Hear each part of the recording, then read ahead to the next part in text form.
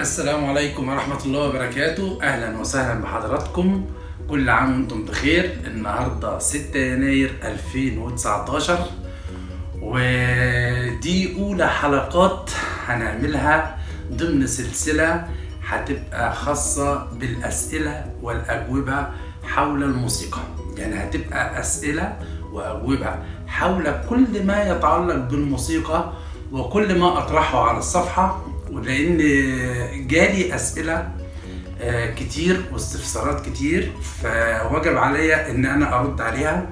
في بعضهم آه، رديت عليه مباشرة على الصفحات وفي بعضهم بيحتاج بعض التوضيحات أو بيحتاج إن أنا لازم أرد على يكون معايا بورد أو يكون معايا آلة موسيقية أو يكون معايا نموذج نسمعه مثلا. آه، برضو لما اتناقشت مع ال- الإخوة والأصدقاء يعني إزاي نرتب ترتيب ال- الأجوبة والأسئلة في ناس اقترحت عليا ناخدها بالنوع. فمثلا قالوا لي آه، كل ما يتعلق بالعزف نخليه حلقة حلقة مثلا يعني ناخد حلقة ولا حلقتين يخصوا حاجات فيها عزف. الأسئلة اللي تخص آه، الحاجات اللي فيها مثلا كتابة محتاج بورد فنعملها على كتابة. وكان في اقتراح جالي إن إحنا نرد على أسئلة بالأقدمية بغض النظر عن آه، يعني النوعية والكيفية. فأنا يعني كتبت بعض الأسئلة و هنرد على المتاح منها اللي أنا أقدر آه، أرد عليه النهارده. آه، واللي هيحتاج مني إن أنا مثلا يكون في آلة موسيقية ممكن في وقت تاني نرد عليه. آه، اللي هيحتاج إن أنا يكون في board آه، white board يعني نكتب عليها هن- آه، هنأجلها لحلقات تانية. آه، دلوقتي أنا هرد على بعض الأسئلة وإن شاء الله تكون آه، الإجابة شافية. وعايز أقول إن آه، معظم الأسئلة جات لي على في التعليقات على اليوتيوب. وفي بعضها جه على الخاص في الفيسبوك والبعض الآخر جه على الخاص في الإنستجرام والتويتر. آه، أنا تحت أمركم كلكم في أي وقت وفي أي آه، موضوع يخص الموسيقى. طيب آه، بسم الله الرحمن الرحيم. هنبدأ ببعض الأسئلة. أغلبها مرتب زمنيا من من من من- من يعني من أقدم إلى أحدث. في بعض الأسئلة زي ما قلت لكم هقدر أرد عليها دلوقتي وفي بعض الأسئلة هأجلها. وطبعا قدر الإمكان هذكر أسماء آه، ال- ال- ال- اللي بعت لي السؤال. واللي بعد كده يحب إن هو ما يذكرش اسمه مفيش مشكلة عندي ممكن أبقى ما أذكرش اسمه. آه، مثلا في من ضمن الأسئلة وده يحتاج آه، white board بس يعني لأني أنا اجابته من ضمن حلقة من الحلقات بتاعت الديوان. جاي لي مثلا سؤال بيقول لماذا سميت نغمة مي نصف بيمول بالسيكا؟ آه، ولم تسمى تك كورد يعني الكلام ده يقصد بيه الديوان.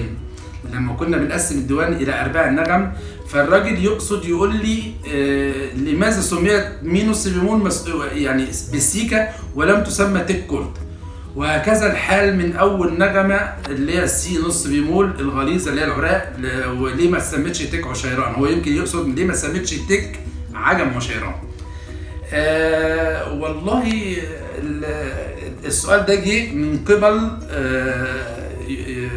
account اسمه دكتور music أو دكتور music طيب هو السؤال ده عشان نطرحه آه، محتاج طبعا board عشان نشرح فيه كويس. آه، ولكن أنا أجبت على جزء منه من خلال حلقة الديوان ال- الموسيقي آه، سواء الأول أو الثاني وأنا قلت إن أنا أصلا مبدأ إن هم يعتبروا المي نص بيمول والسي نص بيمول درجات أساسية. أنا شخصيا يعني ما يعني أنا مش ميال للنوع ده أو للرأي ده وإن كان ده الرأي الأكاديمي وأنا أحترمه طبعا.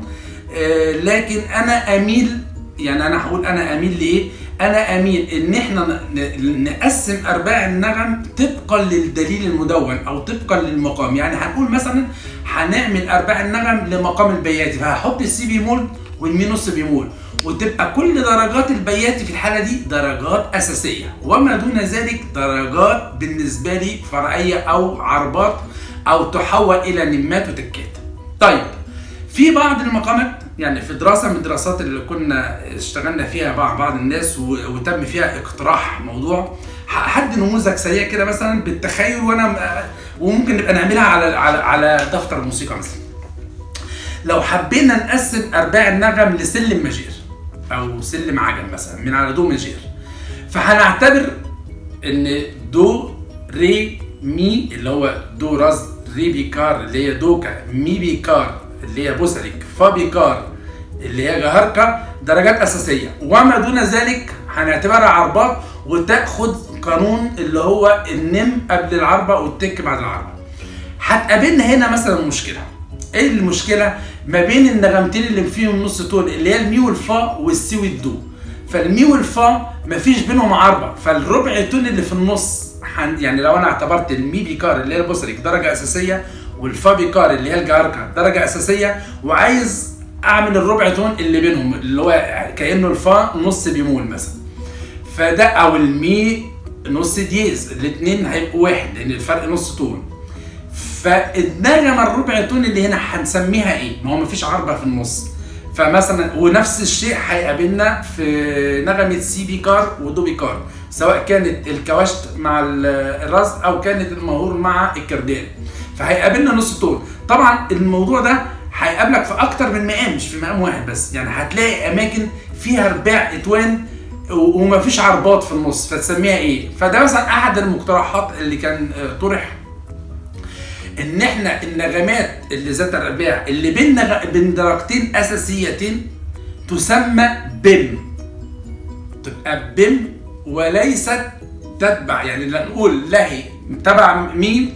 ولا هي تبع فا. ليه؟ لأن هي واقعة بين نغمتين ما فيهمش عربه في النص. يعني إحنا لما مثلا حبينا نقسم الديوان في في اللي ماجير مثلا. لو حبينا نقول إنه عجم من على الدو اعمل لي اعمل لي قسم لي العربات بتاعته بالمنطق الجديد اللي هو إحنا نلغي المي نص بيمول والسي نص بيمول ونمشي على الدرجات الأساسية بس. فهتبقى من الدو للري يعني من الدو للري عندنا أربع تربع فعندنا الدو ديز في النص اللي هي الزركولا فهنقدر نقول إن دي نم زركولا واللي بعدها تك زركولا طيب من الري للمي برضو أربع تربع ففي في النص عندي الري ديز اللي هي الكورد اللي هي المي بيمول. فهقول إن في نم كورد وفي تك كورد. طب مين مين الفا؟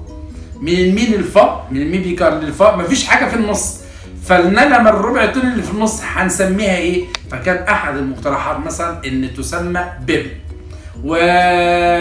و... وكان يعني أخ تاني برضو كان اقترح حتة إنها تسمى بيم بوسري الجهاركا بيم بوسري الجهاركا اللي هي النغمة الواقعة ما بين البوسرك والجهاركا الربع تون هيبقى واقع ما بين البوسرك والجهاركا وهيبقى شرحه طبعا في النغمات الحادة لما أو في النغمة الغليظه مثلا ما بين السي بي كار لما نقول مثلا إيه؟ بيم كواشت راست أو بيم ماهور آه كردان مثلا ده كان من ضمن الاقتراحات ويعني الموضوع ده فيه بقى شوية وفيه قصص كبيرة كده. هنبقى نتكلم فيها باستفاضة ويكون معانا ال white board بالشرح أحسن. طيب سؤال تاني. آه من قبل آه username اسمه رجل استثنائي. بيقول يا ريت لو تعمل دروس على تطبيقات النوتة الموسيقية آه يعني كيف نكتب لحن على نوتة. طيب يعني الجزئية دي في سلسلة أنا بدأت فيها وإن شاء الله نكمل مكملين يعني طبعا لأن المشكلة إن أنا بشتغل في أكتر من سلسلة في وقت واحد.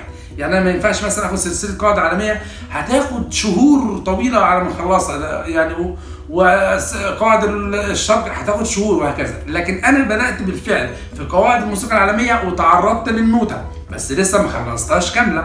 فأنت حضرتك تقدر تتابع معايا السلسلة بتاعت قواعد الموسيقى العالمية هتلاقيني بدأت في المدرج و... وأنواع المفاتيح و يعني هتلاقيني ماشي معاك. لسه أي نعم ما دخلتش في الأشكال و و بتاع وبتطرق لمواضيع عدة المسافات وما غير المسافات والتألفات وكده.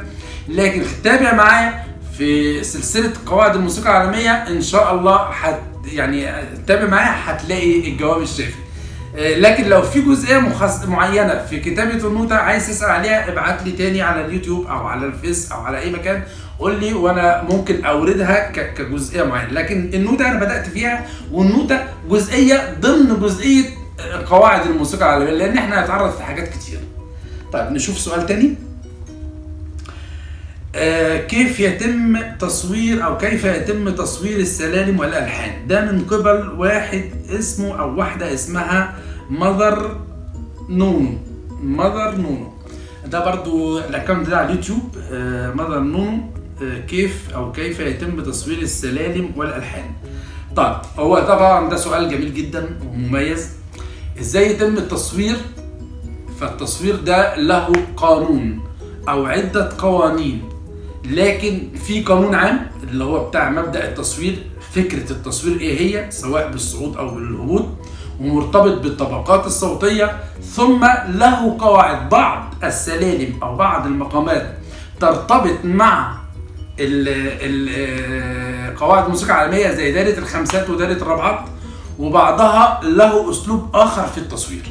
يعني في بعض المقامات العربية ينطبق عليها ما ينطبق على آه، القواعد الموسيقى العالمية في التصوير اللي هي عن طريق دايرة الرابعات والخمسات.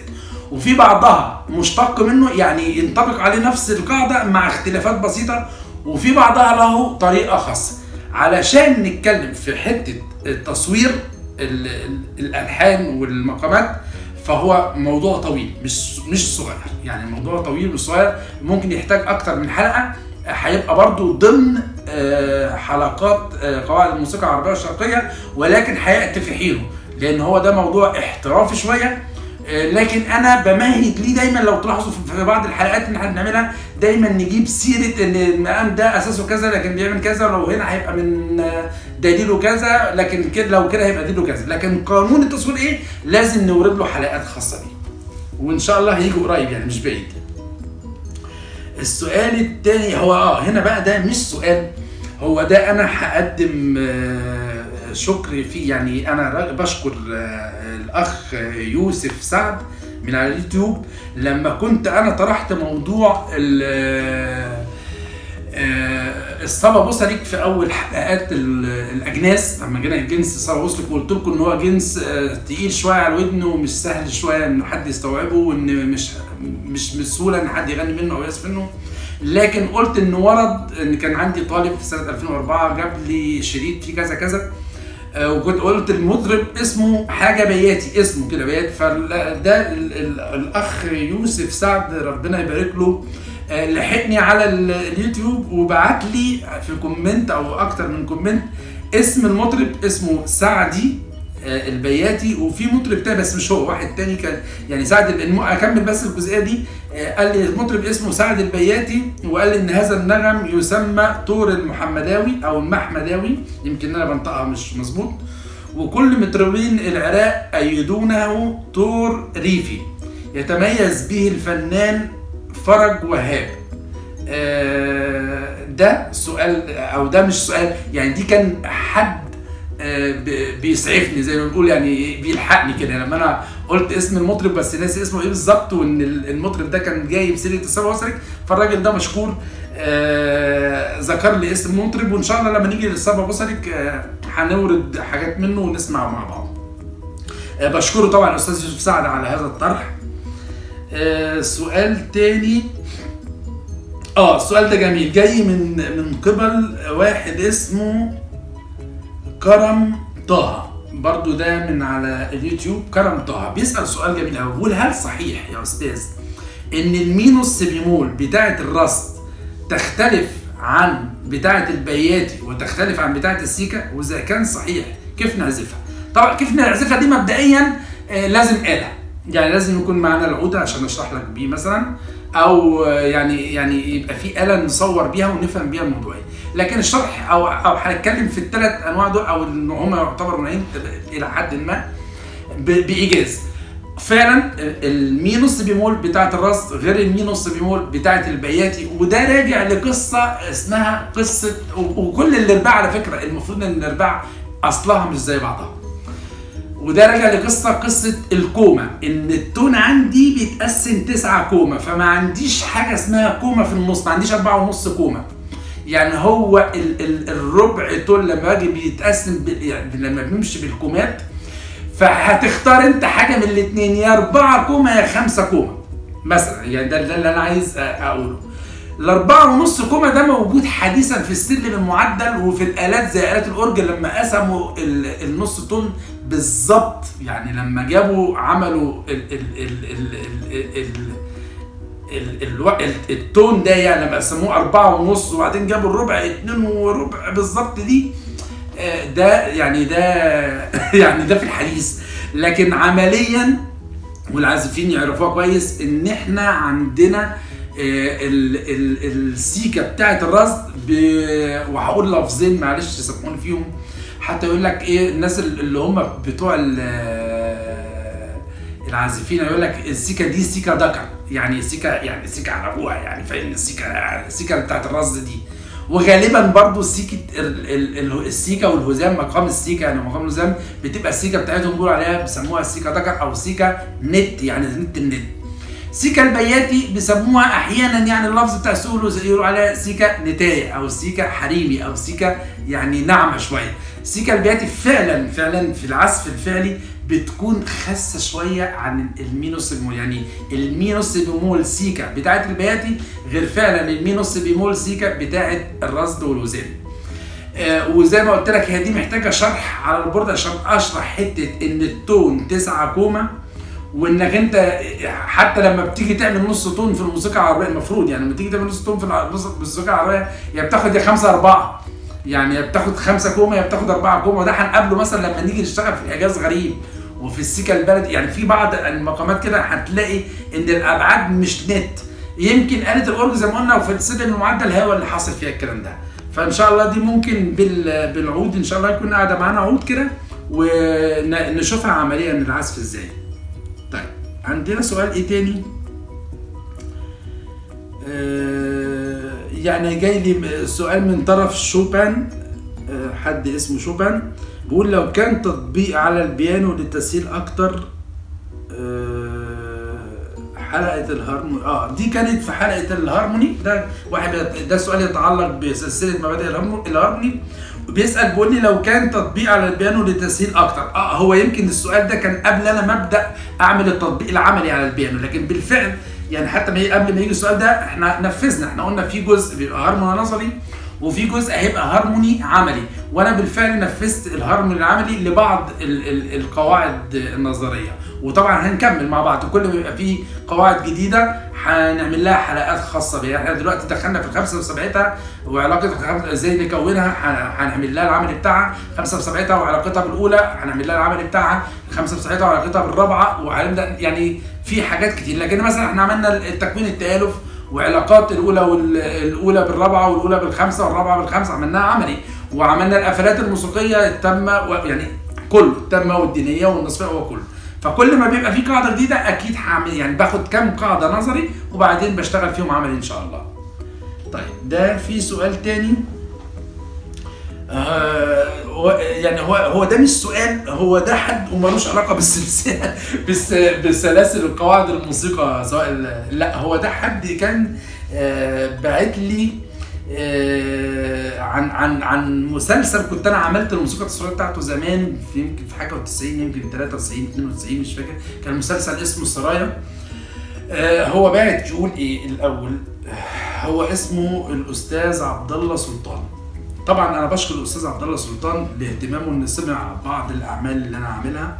آه، هو ده مسلسل قديم من زمان. وهو بيقول إيه؟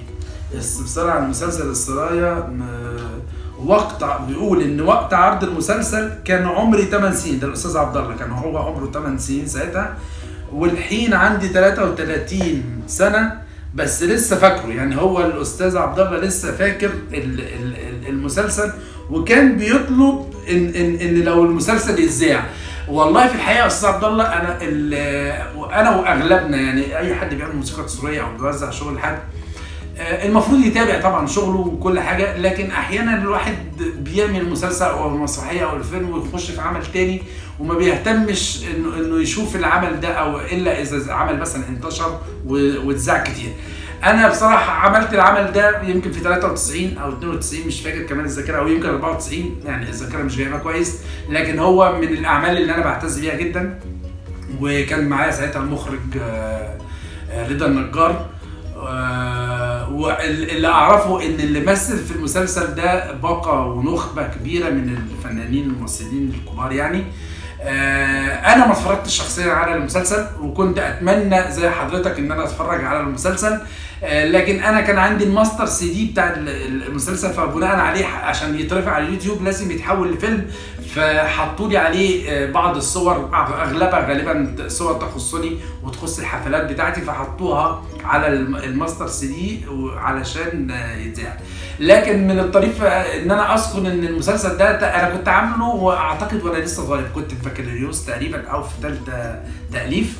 آه، لكن أذكر إن كان معايا عمالقة. عمالقة من عمالقة الموسيقى. يعني أنا مسجل معايا في هذا المسلسل آه، المرحوم آه، الحاج سعد محمد حسن آه، والأستاذ الدكتور رضا رجب والأستاذ عبد الغني الدكتور خالد فؤاد المرحوم الله يرحمه الأستاذ سعيد الاصابجي والمرحوم كان ساعتها هو وكيل المعهد والمرحوم الأستاذ سعيد هيكل. كانوا حوالي 8 كمانجات ما شاء الله عليهم. برضو مسجل معايا اتنين شلو أنا مسجل بثمان كمانجات واتنين شلو وكونتر باس الوتريات اللي أنا مسجل بيها. كان معايا الأستاذ طه والأستاذ عماد طه. آه، وكان معايا ال- الكونترباس الدكتور المرحوم الله يرحمه آه، عصام عبد الحكم. ده بالنسبة للوتريات. كان معايا برضو فيها عازف العود الشهير حبيبي وصديق آه، ورفيق رحلة درب الأستاذ ممدوح الجبالي. هو عازف العود اللي معايا. والكولة الفنان الراقي الجميل الأستاذ إبراهيم كولة آه، اللي مسجل معايا فيه.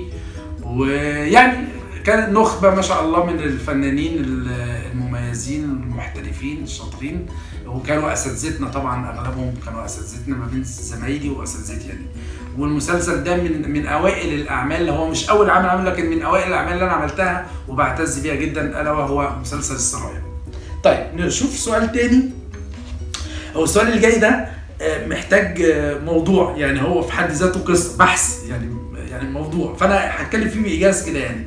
آه، ده جاي لي من قبل واحد اسمه Oud Musician يا إما Oud Musician يا إما Old Musician بس غالبا Oud Musician طيب Oud Musician باعت لي يقول لي إيه؟ بيقول لي هل ينفع التآلفات بالربع تون؟ ده سؤال لذيذ جدا يعني ده سؤال جميل آه، ينفع التآلفات بالربع تون؟ والله يعني أنا من خلال دراستي في قسم التأليف والنظريات والقيادة آه، يعني كل شغلنا في الموسيقى العالمية والكلاسيكية والرومانتيكية و...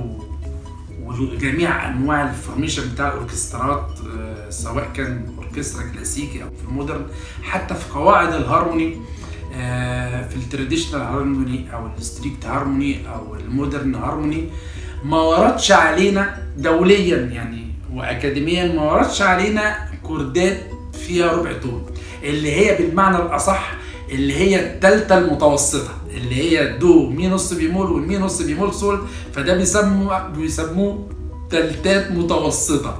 يعني هو تآلف متوسط له كبير وله صغير له major وله minor. مبدئيا عايز أقول لك هو تآلف نشاز بالنسبة للناس الأكاديميين وبالنسبة للناس اللي غاوية موسيقى أوروبية وموسيقى عالمية. هيسمع التألف ده يقول لك إن التألف ده في نشاز. لكن أنا برضو هقول اللي ليا واللي عليا. وأنا برضو من الناس اللي بعتبر ده إلى حد ما يعني كبير إلى حد كبير بعتبر ما, فيش حاجة اسمها ثالثه متوسطة يعني ما في ال- كتالفات لأن الموسيقى العربية بتاعتنا الجميلة أفضل أسلوب للمصاحبة ليها بالذات مع أرباع النغم المقامات ذات أرباع النغم أفضل أسلوب ثبت جدارة في التوزيع بتاعه ألا وهو تعدد التصويت البوليفونية إنك تعمل له خط مقابل خط إنك تشتغل فيه counterpoint يعني يبقى في خط بيتقال ومع خط تاني أو خط تالت مفيش مشكلة يعمل خطوط زي ما أنت عايز. بس دي كانت أنسب. هتقول لي ما هو بيتقابلوا رأسيا آه بيتقابلوا رأسيا أحيانا. آه، يعني التالتة المتوسطة مش كتير هيقبلها لكن أنا مش هنكر إن في بعض الناس بيحطوا تآلف دو. كنموذج يعني طبعا ممكن من أي سكة ومن أي سلم بس يحط دو مي نص بيمول سول ويبقى مستسيغه. وعايز أقول برضو الحق يقال أحيانا بعض الألحان بيتواكب معاها هذا التآلف يعني بعض الجمل الموسيقية سواء مثلا كان في تقاسيم كان في ألحان آه، في غنى مثلا معين تلاقي حد نازل تألف كده في مي نص بمول ولا هو متحدد major ولا minor يعني الدنيا مش باينة. لكن بيستساغ يعني في أنا سمعت قبل كده ناس كانت بتقسم كان في واحد عازف أكورديون بيقسم وكان معاه الكوله بتقسم وكان العازف اللي معاه ماسك له أرضية بصوت الوتريات مثلا في الاورج آه، حاطط التآلف في الدو مي سول. في البداية أنا كشيت منه يعني في البداية اتخذت كده صوته بس مع استمرار التقسيم ومش ومش بعد فترة ده بسرعة. يعني مع أول راجل كده بدأ يستهل في التقسيمة ويفتح كده في التقسيمة ويشتغل آه، أصبح التآلف الوسيط المتوسط ده اللي هو الدو مي نص بيمول سول بدأت أستطيعه. وبعدين بعد كده بدا بدأ بعد الاستثاره بدأ يبقى في راحة بقى. يعني أنا خلاص بقى- يعني متقبل هذا الموضوع. يمكن الصدمة كانت في الأول بس أول بس نزله التآلف دي بالنسبة لي شدتني. لكن يمكن لو كان الراجل ده بدأ في الأول الت... يمكن أنا ما بقولش أكيد يعني. يمكن لو كانت العملية بدأت بتقاسيم الأول وبعدين الراجل راح حاطط التالف ده يمكن كان يجي كده زي ما بيقول كده جه سرقة في النص يعني دخل كده سرقة في النص يمكن كان كنت أقبله يعني. لا يعني يمكن أول نزله دي كنت أقبلها لو كان الراجل بادئ بتقاسيم يعني ممهد لي ومديني الطابع بتاع الرصد وكان ساعتها كان بيقسم رصد فربما ساعتها كنت أقبل وهو طلع من رصد للهزام ويعني قعد يعمل مشوار كده في المقامات اللي هي بتركز ما بين الدول آه لكن آه، علميا وهرمونيا عشان نبقى متفقين ما ما ما, ما ينفعش. يعني ما ينفعش أعمل تألف رأسي في نص بمول آه يعني يكون تلتات متوسطة. يعني آه، يعني ما ما- جربتوش ومش هجربه أو حتى لو كنت يعني عديت عليه مرة اتنين ما, ما قابلتوش وحاولت طبعا أجربه كعزف يعني يعني أكيد في مرة من المرات جيت أعمل آه، أعزف على حاجة وحطيت فما بستسيغوش فساعات كنت أعمل بقى أعمل تحاول بقى. أحط quatrième أحط septième أحط neuvième أحط يعني كده. ساعات كان يبقى نوع من انواع التحايل أقول اولى وخمسه مثلا. يعني ده نوع من أنواع التحايل. بس ما قلتش في الهارموني آه، ودي التالتة خلي بالك اللي إحنا في قانون الهرم التي لا تحذف ولا تكرر بس بما إن هي فيها المشكلة رحت أنا حذفها. يعني رحت ماسك دو سول مثلا وكان اللحن فيه مين دي أحيانا مثلا. أحيانا يتعمل تألف آه، بالسبعة مثلا حتت آه، تألف بالسته تألف بالرابعه يعني الكتريمات آه، كتير جدا بتعالج المشكلة دي. يعني أنا ياما عملنا شغل مع ناس وكنا بنيجي عند الحتة اللي فيها الربع تون دي تلاقينا إحنا قلبنا إيه نص خواجات كده. وإحنا عاملين تألف كاتريا أو كاتريا ب 7 كمان علشان إيه يضطر الموضوع شوية وإحنا نقبله. وإحنا كنا بنقبله. واعتقد ان الناس برضو السميعه بغض النظر عن الموسيقيين بيقبلوه يعني. طيب أنا أعتقد آه، إن دي أهم الأسئلة اللي جات لي على آه، صفحة اليوتيوب في الفترة اللي فاتت دي. أرجو إن بعض أجوبتي تكون آه، شافية وكافية واللي كان في جزء محتاج جزء عملي أو إن أنا أشرح على البورد إن شاء الله أوعدكم آه، آه، إن إحنا نجاوب عليها في حلقات تانية. وخلاص أنا كده آه، بناء على طلب بعض ال- ال- ال- الطلبة وزمايلنا آه خلاص هخصص كل فترة كده حلقات آه للأسئلة والأجوبة عن ال- الفيديوهات اللي بنزلها أو عن الموسيقى بصفة عامة. أي حد هيسألني عن الموسيقى عن أي حاجة أنا تحت أمره وطبعا أنا هتكلم في الأسئلة و- ولو حد معترض على شيء يبعت لي ويقول لي آه، أنا بحترم جدا جدا آراء الكل في طالما في إطار آه، وسياق آه، جميل كده يعني ما فيهوش آه، مشاكل. أنا تحت أمرك نتناقش.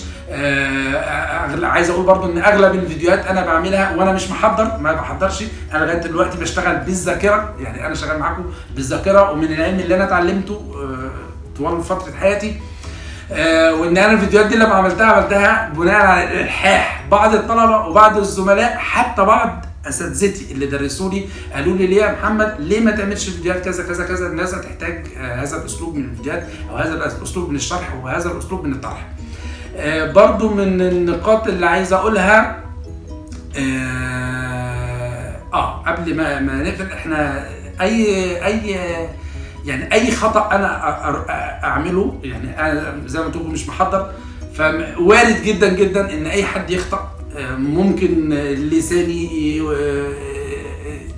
يعني مثلا يتلجلج في حاجة يقول كلمة أبقى أقصد مثلا نغمة معينة أقوم قايل نغمة تانية أقصد مش عارف اسم مقام أطلع كده. دي حاجة ده مثلا نوع من أنواع الأخطاء. ممكن أنسى. يعني كلنا معرضين للنسيان والسن بقى يعني ما شاء الله.